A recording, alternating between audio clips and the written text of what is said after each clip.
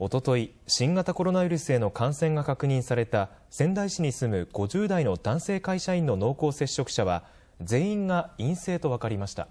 仙台市の郡市長はこの男性を含む4人が同じ飲食店に出入りしていたことについて改めて飲食店などの事業者に感染予防の徹底を呼びかけました。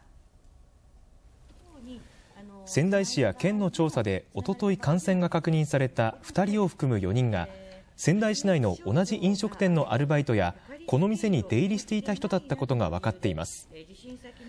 このうち仙台市に住む50代の男性会社員の濃厚接触者17人に対して PCR 検査を行った結果全員陰性が判明しました。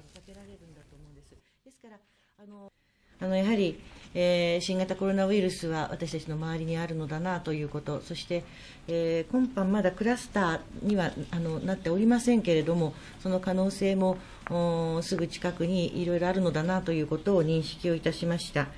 それぞれの事業所、あるいはあの飲食店含めましてですけれども、やはり感染を広げない工夫、それをガイドラインにのっとって、えー、やっていただく。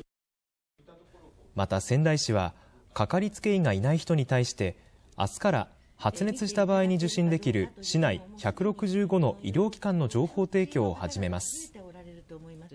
第2波のあのこれもあの可能性を否定できないわけですから、ああの折のようなことがないように、あの医師会、そして仙台市ともに連携して、え、確実に医療につなげてまいりたいと。